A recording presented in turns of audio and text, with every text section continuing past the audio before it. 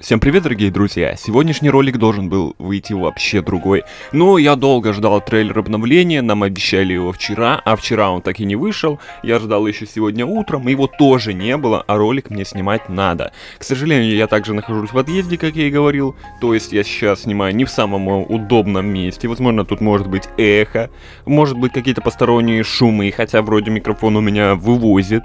То есть тут есть поп-фильтр, вывозит э, лишние шумы, но не знаю, как это будет на итоге. Вы спросите, а зачем ты снова снимаешь ролик, как стать на лидерку или замку, если ты уже снимал? Да, но это скорее всего будет переработка или того ролика, потому что там я сказал очень мало информации, и посмотрев его, я понял, что нужно делать новый. В этом ролике я вам расскажу всю информацию, полезную информацию, как стать на лидерку на любом проекте, не только на смарте. Учтите, тут не будет никаких сливов вопросов, тут будет только информация, которая поможет вам подготовиться как морально, так и морально. Больше никак не подготовишься, вы-то не на собеседование идете в реальной жизни. Итак, давайте начнем. Во-первых, выберите лидерский пост. Допустим, вы решили встать на лидера армии. Мы заходим на форум любого проекта, а желательно, конечно, на Smart RP, и смотрим критерии на пост лидера. Мы будем использовать примерные значения, и они не являются реальными. Допустим, на пост лидера можно встать с шестого уровня. Я говорю допустим, я не знаю, как на самом деле.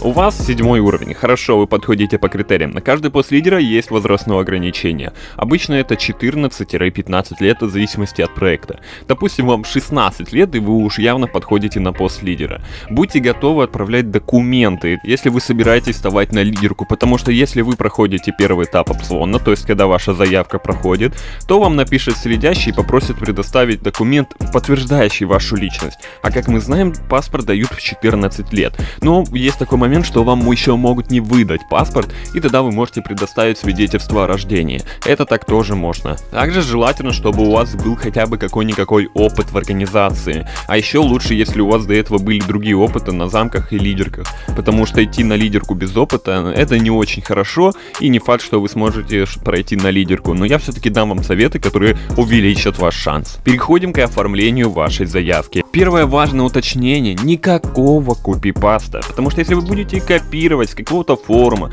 там даже немножко вырезать и видоизменять, нет, ребят, это копипаст, и поверьте, администрация его находит в один клик. Тут не прокатит такая тема, что ну вот я отсюда вырежу, отсюда, потом все совмещу и прокатит. Нет, ребят, поверьте, не прокатит. Я вам говорю, как сам бывший ГС Гос, я знаю, как э, проверяются все вот эти заявочки и, и другая администрация тоже это знает. И поверьте, вас просто отстранят от обзона или вообще вашу заявочку просто не одобрят. Поэтому первое правило, никакого копипаста.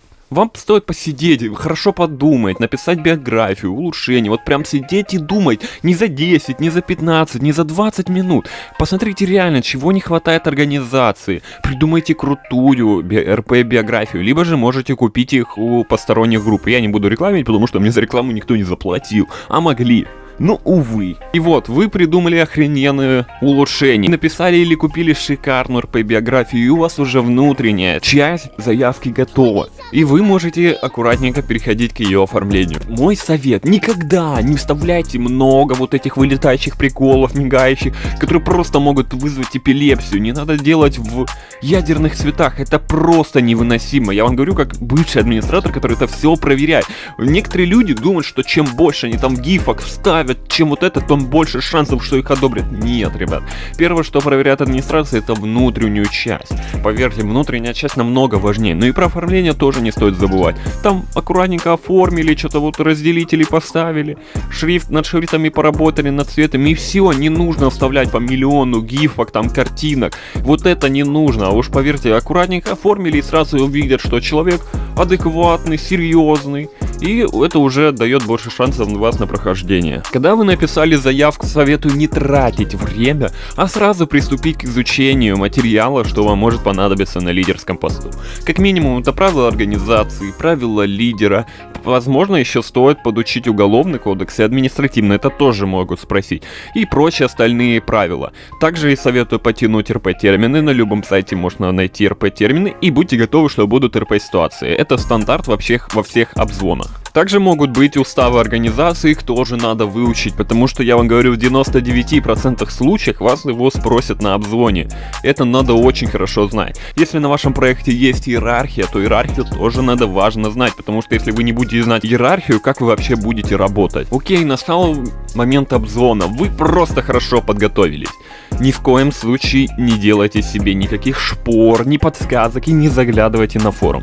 Уж поверьте, если во время обзона вы начнете заглядывать на форум, администрация это очень хорошо увидит и просто вас снимет с обзвона. Вам лучше самому хорошо подготовиться, потому что даже если вы откуда-то подглянете, то долго вы на лидерке не простоите, вы просто-напросто не будете знать правила. Выучите вы и будете уверены в себе, потому что когда вы сами все знаете, вы, вы уверены в себе, и это дает вам бонус. А когда вы подглядываете, вы на нервах все это начинаете искать. Администрация по голосу это хорошо услышит, потому что, скажу, опытная администрация это хорошие психологи, которые по вашей речи могут понять, подглядываете ли вы где-то или говорите от себя. Правило номер два. Не нервничайте, успокойтесь и поймите, что за тем экраном не сидят какие-то жесткие мужики, которым по 30 плюс нет. Нет, в большинстве случаев там сидят такие же парни, как и вы, которым лет от 16 до 20. Да, вы скажете, но 20 лет это тоже уже немало. Но я вам скажу, мне 19 лет.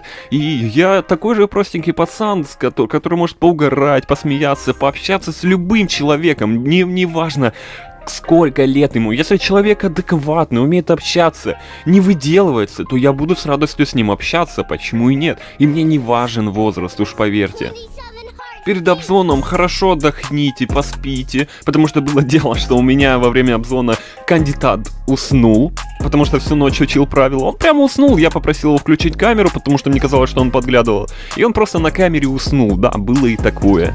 Обязательно выпейте воды и спокойно отвечайте на любой вопрос. Если вы что-то не знаете, вот прям не знаете, просто скажите «я не знаю» и переходите к следующему вопросу. Либо же можете хорошенько подумать. И вот, и поздравляю, вы прошли обзвон на лидера. Ну или не прошли, ну повезет в следующий раз. Все зависит от вас и от вашей подготовки. Да, ролик получился длиннее, но он зато намного полезнее, чем прошлый. Тут я дал больше советов. Надеюсь, вам он поможет, когда вы будете становиться на пост лидера. Ну а с вами был Stretch Builder. Всем удачи и пока.